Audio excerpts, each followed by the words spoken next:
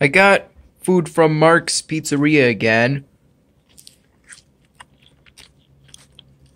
I got a 10 piece order of garlic knots because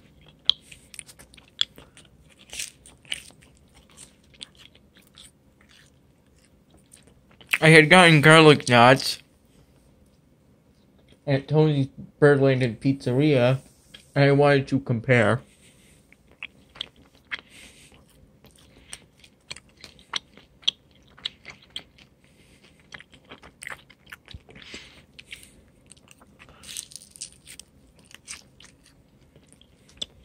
These garlic knots are pretty good.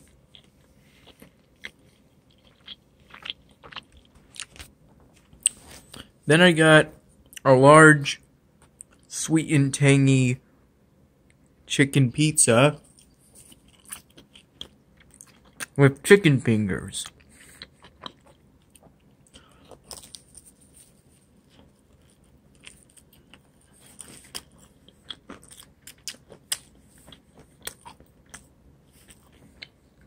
I have three big slices.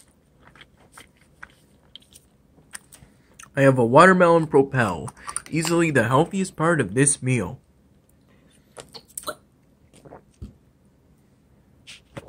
Tastes pretty good. I haven't had the watermelon flavored propel very many times.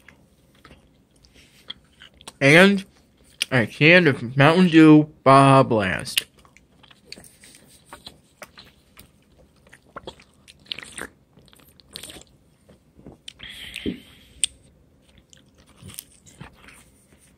I've had some confusion confusion over the past on how to properly pronounce Baja Blast, but I think I have the hang of it now.